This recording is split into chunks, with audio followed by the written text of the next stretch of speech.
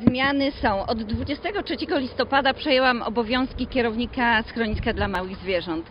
Słuchajcie, każdy ma, y, jak przejmuje jakieś obowiązki, jakieś jest określone, powiedzmy 100 dni y, pracy, nie powiem y, zarządzania tym. Y, Nie minęło jeszcze 100 dni, a już gołym okiem można zobaczyć, ile zmian y, jest tutaj w tym schronisku dla małych zwierząt. Dla małych zwierząt. Począwszy, począwszy od nawet naszej reklamy, która y, określa, że to schronisko istnieje. Nie zgubimy się szukając te, tego schroniska. Idziemy dalej. Popatrzcie przy boksach. Każdy nasz pies ma swoją informację, ma swoją wywieszkę. Jest to na razie okrojone, ale już jest. Czyli widzimy, że jednak te pieski tu są.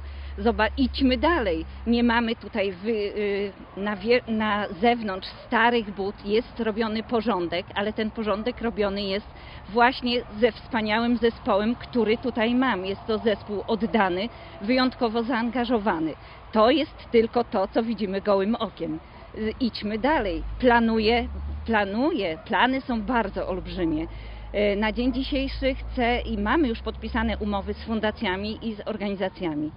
E, Jest to już krok milowy do tego, żebyśmy mogli współpracować z wolontariatem. Wolontariat naprawdę jest potrzebny, bo każdy pies adoptowany musi niestety, niestety, niestety, ale ja tak uważam, powinniśmy doglądać tego pieska, co się z nim dzieje. Nie wiem do tej pory, czy to było, czy nie, nie będę oceniała. Ja po prostu patrzę w przyszłość i patrzę na to, co, co będzie w tym momencie dla nas najlepsze. I ten wolontariat pomoże mi w tym akurat temacie. Jeżeli, jeżeli, chodzi, jeżeli chodzi o plany, jak mamy się pokazywać, to zobaczycie Państwo wiosną. Już wiosną przygotowujemy e, taką e, bieg na sześć łap. E, to też będzie jakby nasza reklama naszych piesków. Już planujemy przygotowanie, przygotowujemy się do majówki, do majówki ze zwierzętami. Chcemy to naprawdę zrobić tutaj, myślę, na tym terenie, gdzie będzie porządek, gdzie będzie zielono, gdzie będzie bardzo dużo też, myślę, yy, kwiatów, bo to chyba tylko o to chodzi. Yy, Dużo, dużo planów, jeżeli chodzi o samą adopcję. Yy, Wiecie o tym, że każdy pies, który tutaj trafia, jest w bardzo różnym stanie. Jest to, każdy pies przechodzi traumę. Żeby się tego, jak, żeby nie bać się adoptować takich piesków, to mamy, współpracujemy z panią, która jest behawiorystką, to jest Mirela Michalewska, naprawdę świetna behawiorystka. Ona pomoże każdemu, kto ma problem z takim pieskiem, bo naprawdę to nie są niunie, to nie są takie delikatne pieski, one różnie reagują. Więc w tym momencie i również taka osoba pomoże. Nowym właścicielom, czy są też? Jak to, to E, psycholog? Co To będzie tak, to jest psycholog i generalnie powiem tak, to nie pieski mają problemy, to ludzie mają problemy, bo jeżeli ludzie są z emocjami, to i pies jest z emocjami. Mogę to powiedzieć na podstawie właściwie swojego własnego doświadczenia. Tak niestety jest.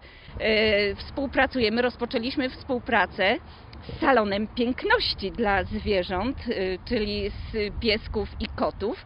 To jest na takiej zasadzie, że każdy piesek, który stąd będzie wychodził, może iść do tego salonu i bezpłatnie będzie uczesany, wyczesany, wystrzyżony i naprawdę pięknie zrobiony. Mam w tym momencie już filmiki takich y, psiaków, które są naprawdę tam przygotowywane no tak jak każdy z nas, do normalnego funkcjonowania w domu. Pani kierownik, e, wcześniej pieniędzy na to nie było, teraz skąd będą te pieniądze? E, To na razie właśnie dzisiaj bardzo, bardzo mocno rozmawiałam z osobami, które mi mm, jakby pomagają, skąd mogę te pieniądze wziąć. Zobaczymy, co ja mogę, bo ja jestem jednak, nie jestem organizacją użyteczności publicznej, ja jednak jestem e, jako oddział e, Ale mówi Pani o MPGK. wielu zmianach. E, Skąd te pieniądze? E, To będę występowała z wnioskiem do zarządu i zobaczymy, co w tym momencie będę mogła zrobić. To wszystko jest uzależnione od pieniędzy. Dlatego powiedziałam, to wszystko uzależnione będzie od pieniędzy, ale zobaczycie Państwo, no jeżeli człowiek chce, to i pewne rzeczy też przeskoczy. To ma być perełka na terenie tutaj Karkonoszy, czyli na terenie też Dolnego Śląska, to ma być perełka, jeżeli chodzi o schronisko dla małych zwierząt. Jestem w tym momencie tak zdeterminowana i tak zaangażowana, że to zostanie perełką i to będzie naprawdę, słuchajcie, no nie rzucam słów na wiatr, oczywiście chcę to zrobić, wiadomo, że jest różnie, ale ten proces trwa.